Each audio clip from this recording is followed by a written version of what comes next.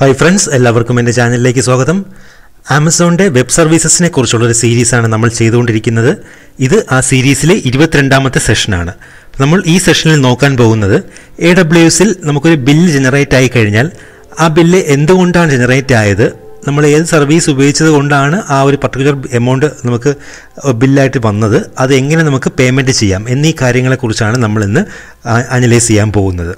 അപ്പോൾ നമ്മൾ free tyre അക്കൗണ്ടാണ് ഉപയോഗിക്കുന്നതെങ്കിൽ കൂടി നമ്മൾ ഫ്രീ ടയർ അക്കൗണ്ടിൽ നമുക്ക് അലോക്കേറ്റ് ചെയ്തിരിക്കുന്ന ഫ്രീ സർവീസസിന്റെ ഒരു ഫ്രീ ലിമിറ്റ് കഴിഞ്ഞ് യൂസ് ചെയ്ത് കഴിഞ്ഞാൽ ചില ചിലപ്പോഴൊക്കെ നമുക്ക് ബില്ല് ജനറേറ്റ് ആയി ആവുന്നതായിരിക്കും. അപ്പോൾ അങ്ങനൊരു സിറ്റുവേഷനിൽ നിങ്ങൾക്കത് നോക്കി മനസ്സിലാക്കുന്നത് എങ്ങനെയാണെന്നും എന്നിട്ട് നമുക്ക് ആ കറസ്പോണ്ടിങ് ഓരോ ഇൻവോയ്സസും എങ്ങനെയാണ് പേയ്മെന്റ് ചെയ്യാമെന്നുള്ള കാര്യങ്ങളെല്ലാം നമുക്ക് ഈ ഒരു സെഷനിൽ നോക്കി മനസ്സിലാക്കാം.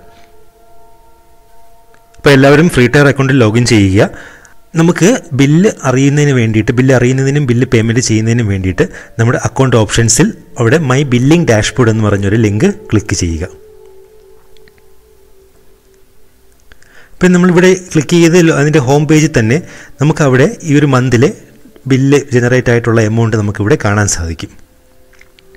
അപ്പോൾ ഫ്രീ ടയർ അക്കൗണ്ടിൽ ഇങ്ങനൊരു ബില്ല് ജനറേറ്റ് ആയി വരുന്നതിനർത്ഥം നിങ്ങൾ ഫ്രീ ടയറിൽ അലോക്കേറ്റ് ചെയ്തിരിക്കുന്ന അലോഡ് ലിമിറ്റ്സിനെക്കാട്ടിയും എക്സ്ട്രാ ആയിട്ട് എന്തെങ്കിലുമൊക്കെ സർവീസ് യൂസ് ചെയ്തിട്ടുണ്ട് എന്നുള്ളതാണ്. അപ്പോൾ അത് നമുക്കത് എങ്ങനെയാണ് നോക്കി മനസ്സിലാക്കുന്നതെന്ന് നമുക്കൊന്ന് നോക്കാം ഇപ്പോൾ.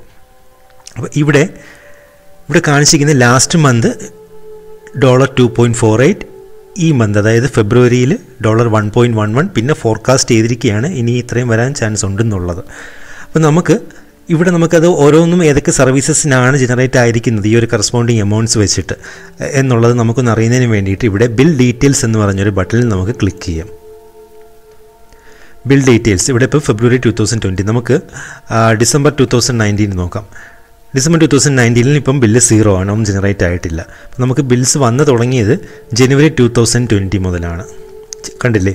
ഇവിടെ dollar two point four eight കാണിച്ചിട്ടുണ്ട്. അതായത് ഒരു ഏകദേശം നൂറ്റി എഴുപത്തേഴ് രൂപ ഇന്ത്യൻ റുപ്പീസിൽ പറയുകയാണെങ്കിൽ. അപ്പോൾ ഇത്രയും ബില്ല് നമുക്ക് എന്തുകൊണ്ടാണ് ഈ ഒരു ഫ്രീ ടയർ അക്കൗണ്ടിൽ കയറി വന്നതെന്ന് നമുക്കൊന്ന് അതിന്റെ ഡീറ്റെയിൽസ് നോക്കിയൊന്ന് മനസ്സിലാക്കാം. അപ്പോൾ ഇവിടെ അതിന്റെ ഓരോരോ നമ്മൾ നമ്മൾ ആ സമയത്ത് യൂസ് ചെയ്ത ഓരോരോ കമ്പോണൻസ് ആയിട്ട് ഇവരവിടെ കൊടുത്തിട്ടുണ്ട്. അപ്പോൾ അതിൽ ക്ലൗഡ് വാച്ച് ഇതിന് ക്ലൗഡ് വാച്ച് സീറോ ആണ് ഡേറ്റ ട്രാൻസ്ഫർ ലിമിറ്റ് എല്ലാം അതെല്ലാം അല്ല നമ്മൾ അലോക്കേറ്റ് ചെയ്ത ഫ്രീ ടയർ ലിമിറ്റിനകത്താണ് യൂസ് ചെയ്തിട്ടുള്ളത്. അതും ഡേറ്റ ട്രാൻസ്ഫറും സീറോ ആണ്. പിന്നീട് ഇതിൽ എമൗണ്ട് കാണിക്കുന്നത് എലാസ്റ്റിക് കമ്പ്യൂട്ട് ക്ലൗഡ് എന്ന് പറഞ്ഞൊരു സെക്ഷനാണ് ഒരു two point one zero dollar കാണിച്ചിരിക്കുന്നത്. അപ്പോൾ അത് നമുക്കൊന്ന് എക്സ്പെൻഡ് ചെയ്ത് നോക്കാം. അതിൽ എങ്ങനെയാണ് അത്രയും വന്നിരിക്കുന്നത് അപ്പോൾ അതിൽ രണ്ട് റീജിയൻസ് വീണ്ടും ഉണ്ട്. രണ്ട് റീജിയൻസ് അന്ന് ആ സമയത്ത് യൂസ് ചെയ്തിട്ടുണ്ട്. അപ്പോൾ അതിൽ ഏഷ്യ പസഫിക്കിലാണ് എമൗണ്ട് വന്നിട്ടുള്ളത്. യു എസ് ഈസിൽ വന്നിട്ടില്ല. അപ്പോൾ ഏഷ്യ പസഫിക് ഞാൻ വീണ്ടും എക്സ്പെൻഡ് ചെയ്യുകയാണ് അപ്പോൾ അതിൽ ഡീറ്റെയിൽ ആയിട്ട് സ്പ്ലിറ്റപ്പ് കൊടുത്തിട്ടുണ്ട് അതിൽ അതിന്റെ യൂസേജ് വന്നിട്ട് Linux D two micro instance two point seven three hours അതിൽ എമൗണ്ട് സീറോ ആണ്. ഇതിലെല്ലാം എമൗണ്ട് സീറോ ആണ്. പിന്നീട് എമൗണ്ട് വന്നിരിക്കുന്നത് ഇതിൽ E B S E B എസിൽ അതിൽ എമൗണ്ട് സീറോ ആണ്. പിന്നീട് എലാസ്റ്റിക് ഐ പി അഡ്രസ്സ് അതിലാണ് നമുക്ക് എമൗണ്ട് വന്നിരിക്കുന്നത്. Elastic I P address per elastic I P address not attach to a running instance for the first hour okay first അപ്പോൾ elastic I P address not attached to a running instance okay നമ്മൾ elastic I P address നമ്മൾ session ചെയ്തപ്പോൾ തന്നെ നമ്മൾ ഈ കാര്യം important ആയിട്ട് മെയിനായിട്ട് പറഞ്ഞിട്ടുണ്ടായിരുന്നു. അതായത് നമുക്ക് ഒരു ഇലാസ്റ്റിക് ഐ പി അഡ്രസ് നമുക്ക് ഫ്രീ ആയിട്ട് യൂസ് ചെയ്യാം. പ്രൊവൈഡഡ് അത് ഏതെങ്കിലും ഒരു റണ്ണിങ് ആയിട്ടുള്ള ഇ സി ടു ഇൻസ്റ്റൻസിൽ അറ്റാച്ച് ചെയ്തിട്ടുണ്ടെങ്കിൽ മാത്രം. അപ്പോൾ ഒരു റണ്ണിങ് ആയിട്ടുള്ള ഈസി ടു ഇൻസ്റ്റൻസ് ഇല്ലാതെ അങ്ങനെ അറ്റാ അതിൽ അറ്റാച്ച് ചെയ്യാതെ ഫ്രീ ആയിട്ടൊരു എലാസ്റ്റിക് ഐ പി അഡ്രസ്സ് നമ്മൾ ജനറേറ്റ് ചെയ്ത് വെച്ചിരുന്ന് വെച്ച് കഴിഞ്ഞ് ഫ്രീ ആയിട്ട് വെച്ച് കഴിഞ്ഞാൽ അതിന് ഫസ്റ്റ് അവർ കഴിഞ്ഞിട്ട് മുതൽ പിന്നീട് ബില്ല് ജനറേറ്റ് ആവുന്നതായിരിക്കും. അതാണ് ഇവിടെ പറഞ്ഞിരിക്കുന്നത്. Per elastic I P address not attach to running instance for the first hour first hour free ആണ്. കണ്ടില്ലേ? ഫസ്റ്റ് ആദ്യത്തെ ഒരു അവർ അതിന് ബില്ല് ജനറേറ്റ് ചെയ്തിട്ടില്ല. അത് കഴിഞ്ഞുള്ള മുതൽ നമ്മൾ യൂസ് ചെയ്ത അത് അത്രയും സമയം കിടന്ന അത്രയും നേരത്തേക്കുള്ള ബില്ലാണ് ജനറേറ്റ് ചെയ്തിരിക്കുന്നത്. അപ്പോൾ ഇവിടെ എമൗണ്ട് പറഞ്ഞിട്ടുണ്ട്. Point zero zero five dollars വെച്ചിട്ടാണ് per elastic I P address not match to your running instance per hour per അവറിന് point zero zero five dollars വെച്ചിട്ടാണ് അതിന് ചാർജ് ചെയ്തിരിക്കുന്നത്. അപ്പോൾ അങ്ങനെ ഫോർ ഹൺഡ്രഡ് ആൻഡ് നയന്റീൻ ഏകദേശം ഇത്രയും അവേഴ്സ് അത് റണ്ണിങ് അവിടെ അലോ ജനറേറ്റ് ആയി കിടന്നിട്ടുണ്ട്. അത് ഇലാസ്റ്റിക് ഐ പി അഡ്രസ് അവിടെ പ്രത്യേകിച്ച് ഒരു റണ്ണിങ് ആയിട്ടുള്ള ഇ സി ടു ഇൻസ്റ്റൻസിനും അലോക്കേറ്റ് ചെയ്യാതെ അവിടെ ഒരു E C elastic I P address കിടന്നു. അത് ഒരു അശ്രദ്ധ കാരണം നമുക്ക് സംഭവിക്കാവുന്ന ഒരു കേസാണ്. അപ്പം എനിക്കും അങ്ങനെ തന്നെയാണ് സംഭവിച്ചത്. നമ്മൾ ഒരു ഇലാസ്റ്റിക് ഐ പി അഡ്രസ്സ് നമ്മളൊരു ഇ സി ടു ഇൻസ്റ്റൻസിൽ അറ്റാച്ച് ചെയ്തിട്ട് യൂസ് കഴിഞ്ഞിട്ട് നമുക്ക് ആ ഒരു യൂസ് കഴിഞ്ഞ് നമ്മൾ ഇ സി ടു ഇൻസ്റ്റൻസ് നമ്മൾ സ്റ്റോപ്പ് ചെയ്യുകയോ ടെർമിനേറ്റ് ചെയ്യുകയോ ചെയ്ത് കഴിഞ്ഞാൽ നമ്മുടെ ഈ ഇലാസ്റ്റിക് ഐ പി അഡ്രസ്സും നമ്മളത് റിട്ടേൺ ചെയ്ത് കളയണം നമ്മൾ അതിൽ നിന്ന്. പിന്നീട് അത് അവിടെ ജനറേറ്റ് ചെയ്ത് വെക്കാൻ പാടില്ല. അപ്പോൾ അങ്ങനെ അവിടെ ഉണ്ടെങ്കിൽ ഈ ഇത് ഈ പറഞ്ഞതുപോലെ വെറുതെ കിടക്കുകയാണെങ്കിൽ അതിന് ബില്ല് ജനറേറ്റ് ചെയ്യുന്നതായിരിക്കും. Point zero zero five dollars വെച്ചിട്ടാണ് ഇപ്പോൾ ജനറേറ്റ് ചെയ്തിരിക്കുന്നത്. അപ്പോൾ അങ്ങനെയാണ് ഇവിടെ ഈ four hundred nineteen hours use ചെയ്തതിന് dollar two point one zero charge ഇവിടെ ആയിട്ടുള്ളത്. പിന്നെ അതിന്റെ ടാക്സും എല്ലാം ചേർത്തിട്ടാണ് ഈ പോയിന്റ് ത്രീ എയ്റ്റും കൂടെ വന്നു. ആഡപ്പായി ടോട്ടൽ എമൗണ്ട് ഇപ്പോൾ ടു പോയിന്റ് ഫോർ എയ്റ്റ് വന്നിരിക്കുന്നത്. ജനുവരി ടു തൗസൻഡ് ട്വന്റിയുടെ കേസ്. പിന്നെ നമുക്ക് ഫെബ്രുവരി ടു തൗസൻഡ് ട്വന്റി ഓക്കെ ഈ മന്തിൽ പ്രത്യേകിച്ച് ചാർജ് ഇവിടെ ഇലാസ്റ്റിക് കമ്പ്യൂട്ടർ ക്ലൗഡാണ് ഇവിടെയും കാണിച്ചിരിക്കുന്നത്. ഒരു പോയിന്റ് നയൻ ഫോർ കാണിച്ചിരിക്കുന്നു. അത് ഏഷ്യ പസഫിക് റീജിയൻ അത് വന്നിട്ട് point zero one two four Linux വന്നിരിക്കുന്നത്. അതൊരു പോയിന്റ് സീറോ വൺ ചാർജാണ് വന്നിരിക്കുന്നത്. പിന്നീട് E B S volume. Okay നമ്മൾ അവിടെയും ഇവിടെയും നമുക്ക് ഇലാസ്റ്റിക് ഐ പി അഡ്രസ്സിന്റെ നേരത്തെ റൺ ചെയ്തതിന്റെ ബാക്കി കുറച്ച് എമൗണ്ട് ഇവിടെയും കയറി വന്നിട്ടുണ്ട് പോയിന്റ് എയ്റ്റ് സെവൻ ഇലാസ്റ്റിക് അതുപോലെ നമ്മൾ I elastic E C two instance use ചെയ്തതിന്റെ അവേഴ്സ് എക്സീഡ് ചെയ്തതിന് കുറച്ച് ചാർജ് വന്നിട്ടുണ്ട്. ഒരു പോയിന്റ് സീറോ വൺ വന്നിട്ടുണ്ട്. അതുപോലെ നേരത്തെ ലാസ്റ്റ് മന്തിലത്തെ ബാക്കി ഇലാസ്റ്റിക് ഐ പിയുടെ ഫ്രീ ആയിട്ട് റൺ ചെയ്തുകൊണ്ടിരുന്നതിന്റെ അറ്റ അതായത് ഇ സി ടു ഇൻസ്റ്റൻസിൽ അറ്റാച്ച്ഡ് അല്ലാതെ റൺ ചെയ്തുകൊണ്ടിരുന്നതിന്റെ ചാർജ് ബാക്കി ഇവിടെയും വന്നിട്ടുണ്ട് ഈ മന്തിൽ ഒരു പോയിന്റ് സീറോ ഫൈവ് അപ്പോൾ അത് ചേർന്നിട്ടാണ് ഈ ഫെബ്രുവരി വന്നിരിക്കുന്നത്. ഓക്കെ അപ്പോൾ നമുക്ക് ഈ ബിൽസ് എങ്ങനെയാണ് പേയ്മെന്റ് ചെയ്യുന്നതെന്നൊന്ന് നോക്കാം നമുക്കിനി. അപ്പോൾ അതിനായിട്ട് നമുക്ക് എടുക്കേണ്ടത് ഇവിടെ ഓർഡേഴ്സ് ആൻഡ് ഇൻവോയ്സസ് എന്ന് പറഞ്ഞൊരു ലിങ്ക് എടുക്കുക. അപ്പോൾ ഇവിടെ നമ്മുടെ ടോട്ടൽ ഡ്യൂസ് എല്ലാം ഇവിടെ കാണിക്കും.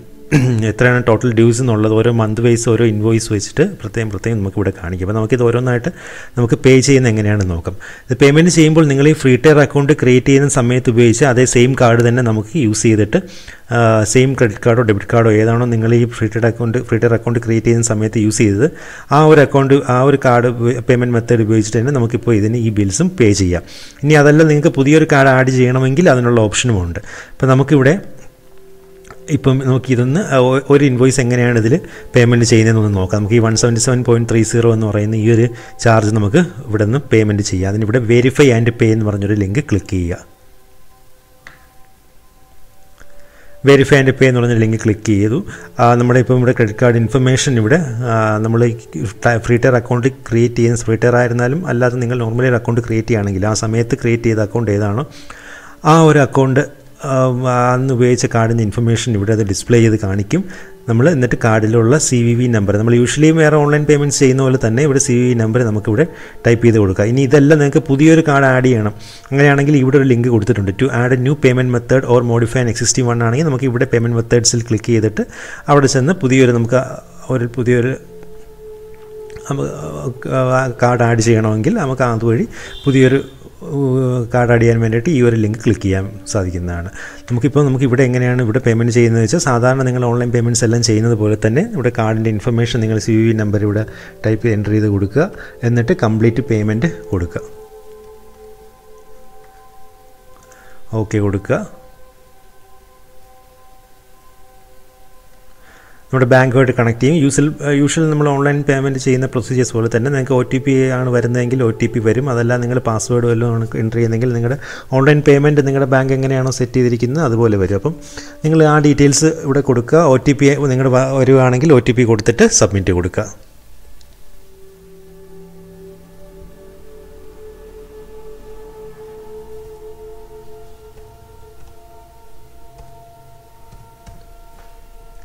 ഞാനിപ്പോൾ ഒ ടി പി ഇവിടെ എന്റർ ചെയ്ത് കൊടുത്തിരിക്കുകയാണ്.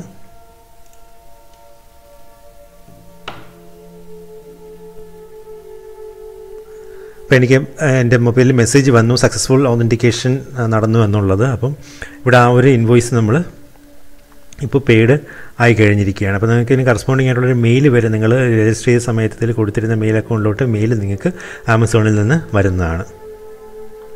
അപ്പോൾ ഇതുപോലെ